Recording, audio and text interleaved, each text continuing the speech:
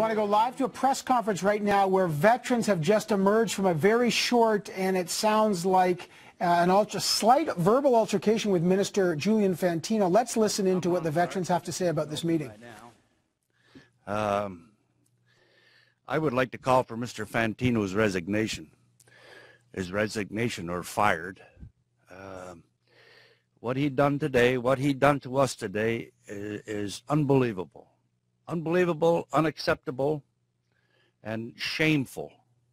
The way we were treated is just not not kosher. I would like to say that Mr. Fantino should uh, thank you very much.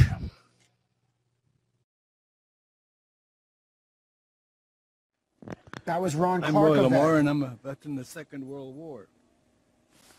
And go to a meeting that where the individual didn't show, and ended up brought three veterans, politicians, to argue against the rest of us.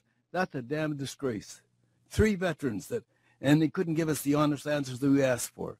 I was really ashamed to go to a meeting like that. And then this is not the first time he's missed meetings. There's a few things he should be told. Top manners, number one. Number two, to respect the veterans. And number three, it's time that he better wake up and give us a break on this thing. Thank you. My name is Martin Holler. I'm from uh, Manitoba and Brandon area. Here's another veteran with the meeting with uh, Julian Fantino. Let's listen in. In the meeting, when the uh, three other veterans, as was stated before, I left the meeting because I wasn't getting the answers that I wanted for Manitoba. Because if from the north, from Thompson all the way to the U.S. border, there is no representation whatsoever. I left the meeting because I was mad. Then all of a sudden, the minister comes in and starts talking, and the same issues, the same answers, the same everything came out. And one of our individuals got quite upset again at him. I was getting upset, and matter of fact, I was crying in there because I kept.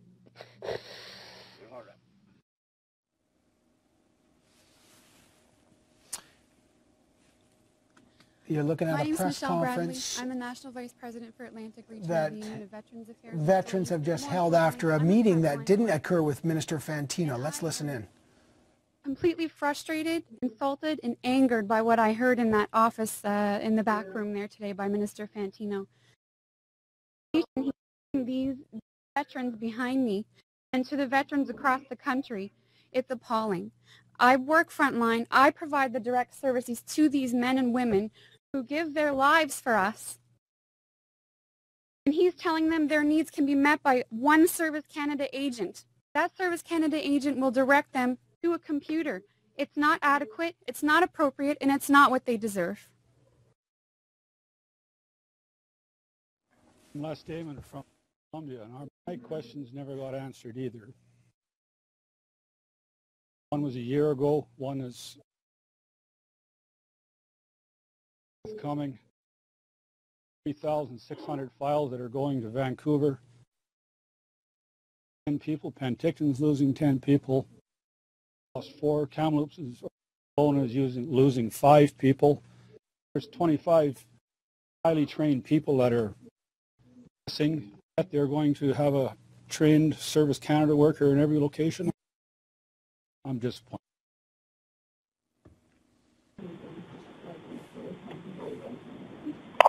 Bonjour, je vais m'adresser en français. Mon nom est Yvan Thauvette, président national du syndicat des employés des anciens combattants. Je pense que la journée d'aujourd'hui. There's now, euh, this is obviously the French portion of this conference. Let me tell you what's happened here. You're looking live at a press conference. Vets who had come to Parliament Hill today to talk about the closure of eight offices that will happen across the country this week had a meeting set up with the Veterans Minister, Julian Fantino. According to the head of PSAC Union, who was there, uh, Chris Aylward, he said, and I'm quoting him, the vets told the minister was called away and unable to meet with them. He said, he said the minister then showed up, said hello, according to him, got rude with one of the veterans, and it was unacceptable. The then a series of veterans have now come out. Uh, Ron Clark, Roy Lamar, who have uh, one, Roy Clark calling for the resignation of Julian Fantino because of what happened here. Uh, one said he burst into tears crying. He was so upset by the situation. And a series of vets have been clearly very unhappy with the situation. Now, from Julian Fantino's side, obviously we have immediately contacted the Office of Veterans Affairs, his office, and we're trying to get his statement on what happened. But for now, we do know a very short encounter between. I was Let's listen in again. Hang on. Today here, uh, to have a meeting set up with the minister and then not turn up. I, in my own heart, I feel that he had no intention of turning up. He had his three colleagues come in and work, do all his dirty work for him. You could not get any answers from him. One of my biggest problems is Service Canada. They keep coming back to 600 offices in Canada, places for us to go.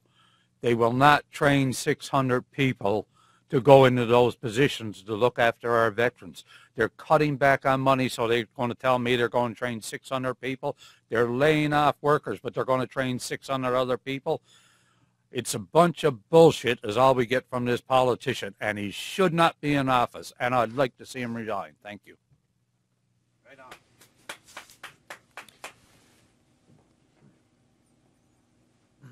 Uh, good evening. My name is Bruce Moncur. And uh, what happened today, uh, I just want to see cooler heads prevail. I want to see everyone to be able to, to try to get things, uh, uh, try to sit down and try to talk things out as much as possible. I understand these offices are going to close. But if you ask me if I'm surprised by these actions, if you ask me if, if any of this catches me off guard, the answer is no.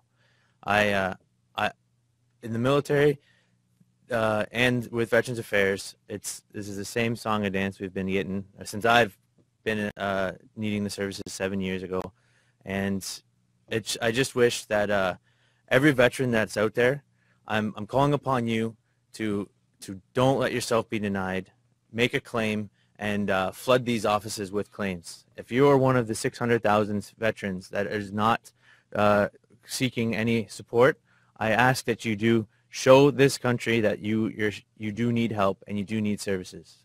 Thank you.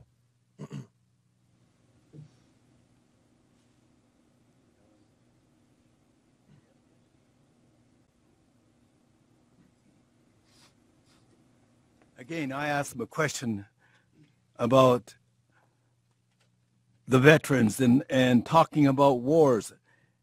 And I tried to make an agreement, which was if he could tell me right now that you won't need veterans if you don't have any wars. So that gives me a great feeling that saying, all right, we are not going to have any wars. That's another big lie he can throw at me. And they tell us they're going to be veterans, going to be using the Veterans Affairs down the road. If there's no more wars, I don't believe it.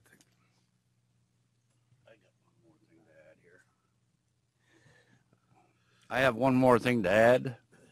Um, Mr. Harper and his conservatives best be prepared for the next election because as I said at the start of this, I will, I will cross Canada and get veterans and soldiers and, and our uh, Canadians to vote against the conservatives. I don't care who they vote for. They can vote for for any independent they wish. I couldn't care less.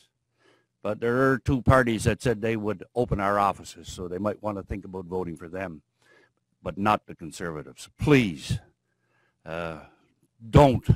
If they don't open these offices, don't vote conservative.